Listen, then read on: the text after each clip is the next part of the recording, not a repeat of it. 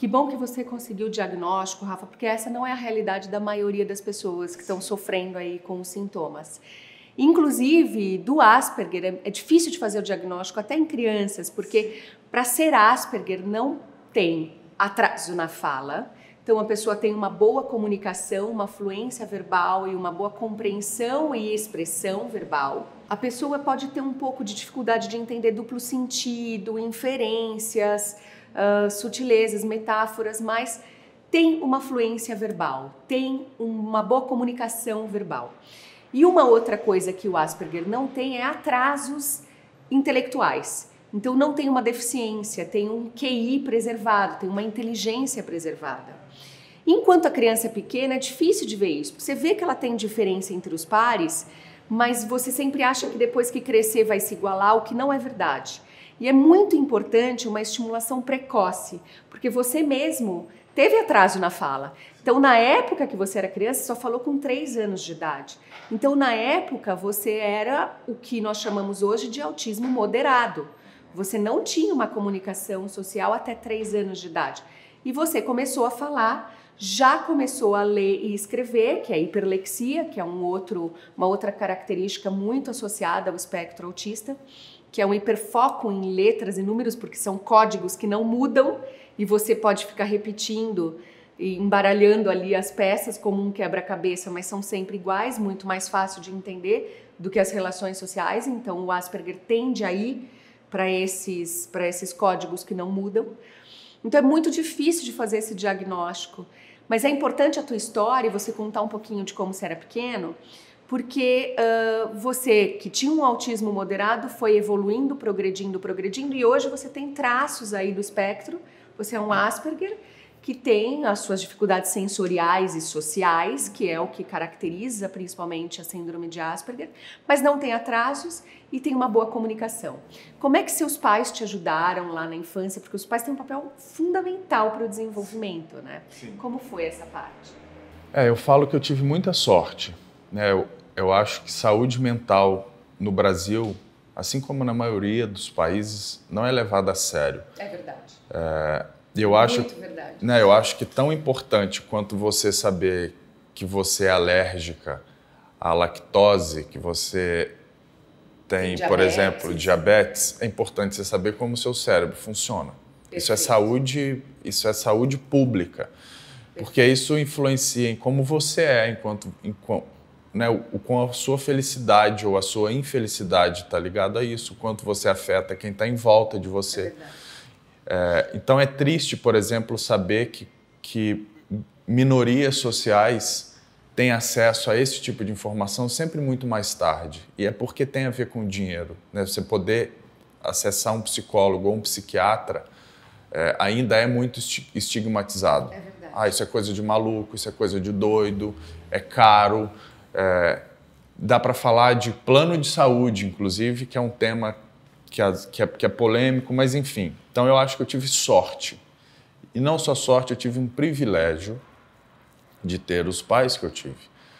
Porque eu nasci numa cidade que chama Carangola, numa cidade que tem 30 mil habitantes em Minas, e eu nasci em 83. Né? O autismo foi, se tornou um assunto público na década de 80, uhum. na Europa. Então, isso, isso não era uma informação que que existia em Carangola. Exato. E os meus pais são muito simples, né? É, não é que a gente tem que voltar quase 40 anos atrás e entender que não existia internet, não tinha uma biblioteca pública. Enfim, eles entenderam de alguma forma que a minha experiência escolar era uma experiência ruim. De alguma forma eles entenderam que era difícil para mim.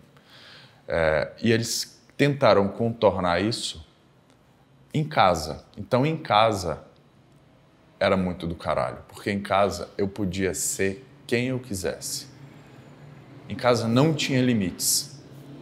Um amigo meu tem uma filha de seis anos e ele desescolarizou essa filha. Eles educam, ele e a esposa dele educam ela em casa, no método montessoriano. Então, eles são super estudiosos de educação infantil.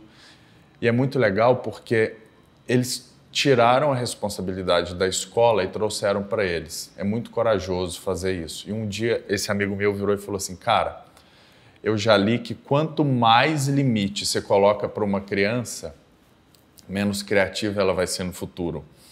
É, então, quanto mais não você falar, mais você está tolindo ela. Enfim, eu não vou entrar no, no, no, pedagógico aqui, deve ter pai e mãe em casa me xingando agora, mas não é sobre isso.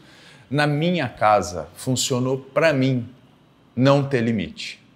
Para mim, funcionou. Então você podia pintar paredes? Sim, com 13 anos eu lembro, é, eu queria furar minha orelha, queria colocar brinco. E era uma coisa, era um tabu na época. Tinha assim, ah, se você furar a sua orelha esquerda, você é gay, se você furar a direita, não. Então tinha essa coisa. Eu precisava me expressar de alguma forma que o brinco naquela época fazia sentido. E aí virou uma loucura lá em casa. O meu filho quer pôr brinco, meu filho quer pôr brinco, meu filho quer pôr brinco. Aí virou assim: Rafael, faz o seguinte: você vai furar a orelha, você vai se arrepender faz alguma coisa que se arrepender a gente consegue resolver. Então, por exemplo, você quer pintar sua parede do quarto? Falei, quero. Pinta a parede do quarto, que se depois a gente, a gente quiser, a gente pinta de novo. Então, a parede do meu quarto era inteiro pichada. É, o, o, meu teto era cheio de colagem, eu tinha uma cabeça de boi morto, que eu achei um esqueleto no asfalto, fedia carniça dentro de casa, mas eu achava ótimo.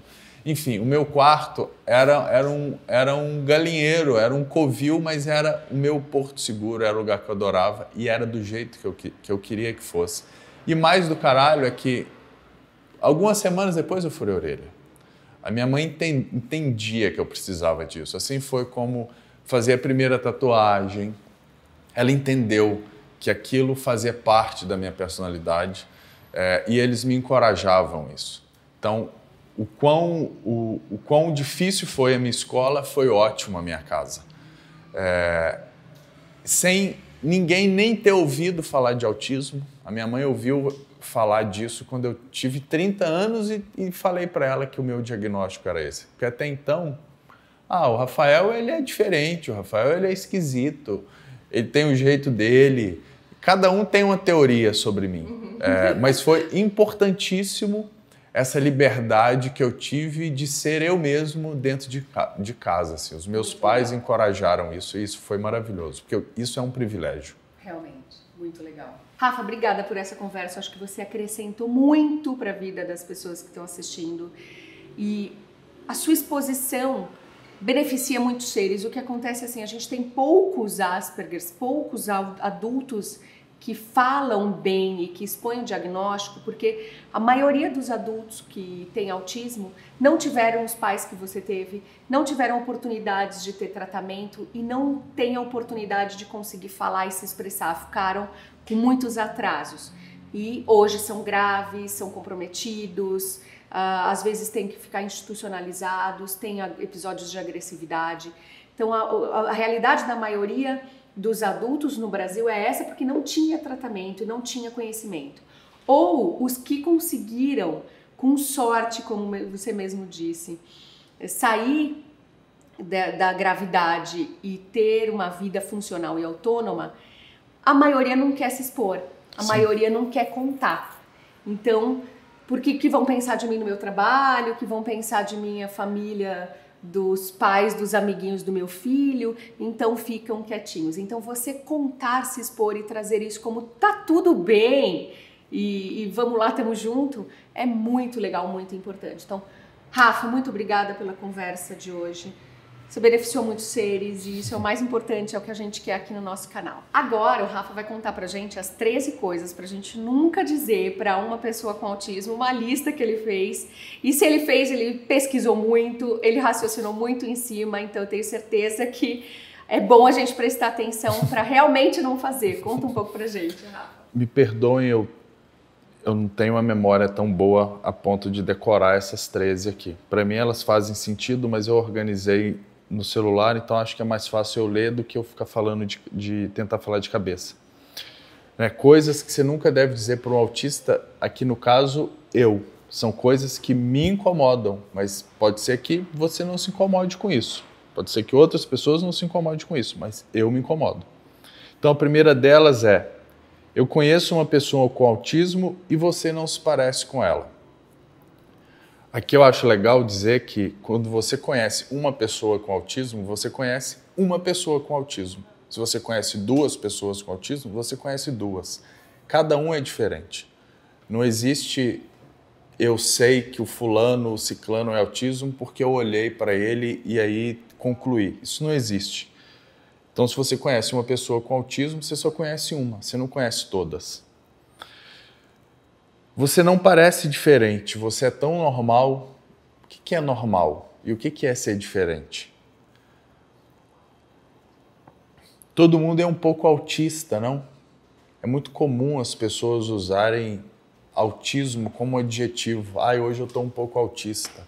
Ah, esse fulano hoje está meio autista. Hoje ele não está falando, ele está meio autista. Meu cachorro é meio autista. Não existe meio autista. Você toma algum remédio para ajudar? Não, eu não estou doente.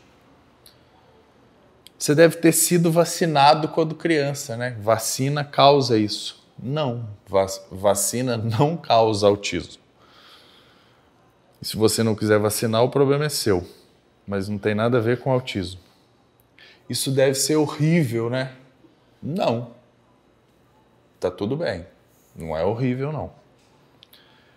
Pare de usar autismo como desculpa para as coisas. É muito comum as pessoas falarem que eu me escondo atrás do autismo. Ah, vão numa festa? Não. Ah lá, tá escondendo atrás do autismo. Vamos não sei o quê? Não não gosto, não quero, está escondendo. Não estou escondendo, eu sou. É como se você me pedisse para pegar uma caneta com a mão esquerda e escrever com a mão esquerda. Eu não gosto, eu não sei, eu escrevo com a mão direita. É simples assim. Seus hábitos são muito esquisitos. E você deve ser ótimo com números e música.